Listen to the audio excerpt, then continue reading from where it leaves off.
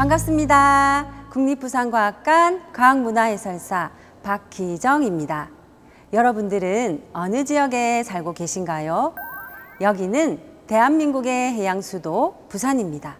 다양한 해양 레저들이 발달해 있는데요. 혹시 알고 있는 해양 레저들이 있을까요? 요트, 수상스키, 서핑, 참 다양하죠? 오늘은 그 중에서 저와 요트를 만나보실 건데요. 요트가 바다에서 넘어지지 않고 어떻게 잘 운항할 수 있는지 그 원리에 대해 알아보도록 하겠습니다. 여기 바다 위에 요트가 있다고 상상해 볼까요? 요트는 도치 바람의 방향을 이용해서 나아가는 배입니다. 제가 바람을 만들어 보겠습니다. 그리고 스탠봉을 돌려 도체 방향을 바꿔 보겠습니다.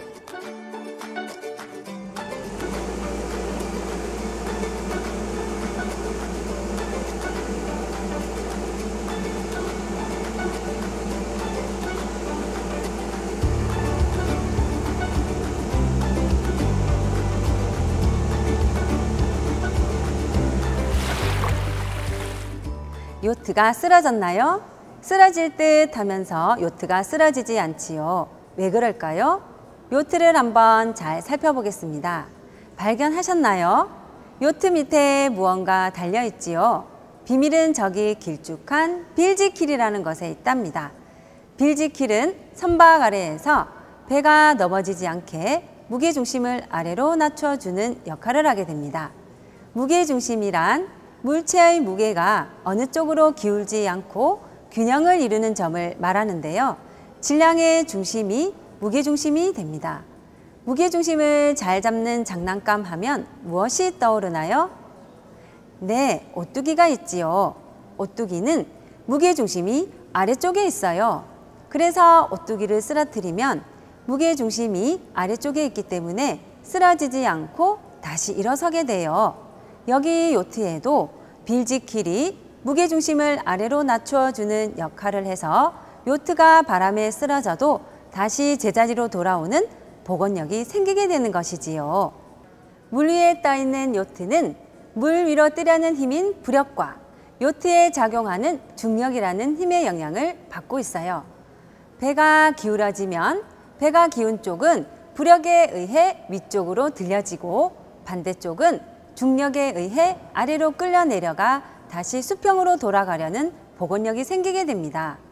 전체 부력이 한 점에 작용한다고 생각했을 때 가상의 한 점을 부력 중심이라고 하는데요.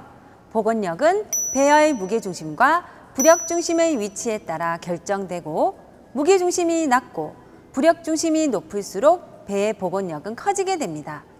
배의 중심선과 부력 중심에서 수직선을 그어 만나는 점을 경심이라고 하는데 배가 기울였을 때 경심이 무게중심보다 높으면 복원력이 생겨 배가 수평으로 돌아갑니다.